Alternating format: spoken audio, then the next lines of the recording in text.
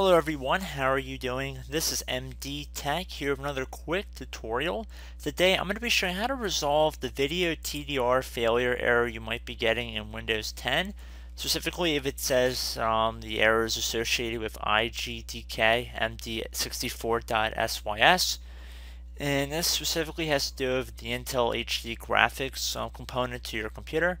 So we're going to address this error today and should be pretty straightforward. So we're going to start by heading over to our start menu and we're going to type in device manager and it should be listed directly above the control panel. So you want to left click on that. Now you want to go underneath display adapters and left click on the little drop down arrow next to that assuming it says Intel HD graphics here instead of saying VMware, it just says that because that's my display adapter on this virtual machine. It should say Intel HD graphics for you guys. You're going to right click on this and proceed to left click on properties. Then you go up to the driver tab at the top and then proceed to left click on the update driver selection here. Left click on search automatically for updated driver software should be the first option.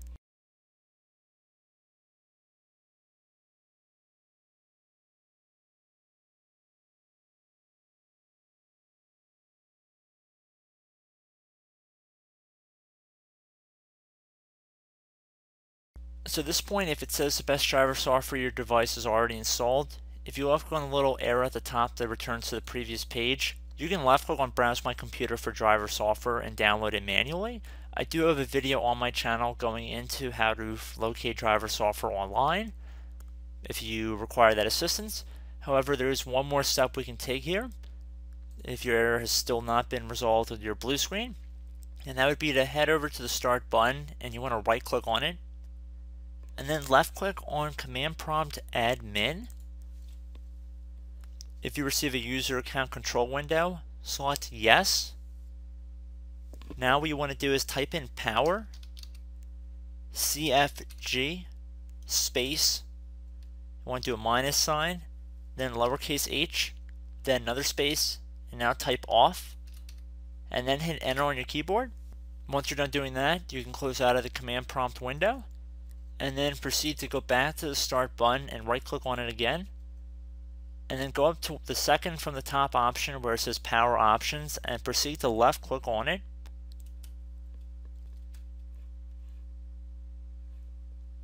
Left click on change plan settings. It doesn't matter which button you select. If you are on a laptop with battery power, you might have further options. Select any button that says change plan settings. And then select change advanced power settings. If you scroll down here, if you if there's an option that says your graphics settings, you want to select that. In my case, I'm just going to select the wireless adapter settings. And then if it says power saving mode, left click on the little plus sign next to that.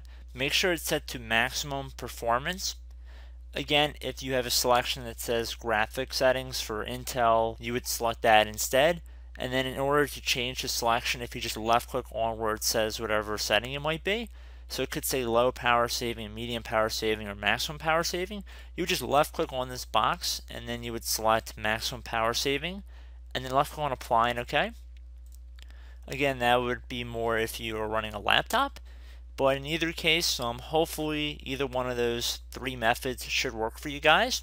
And I hope, uh, again, that it worked for you, and I will catch you in the next tutorial. Goodbye.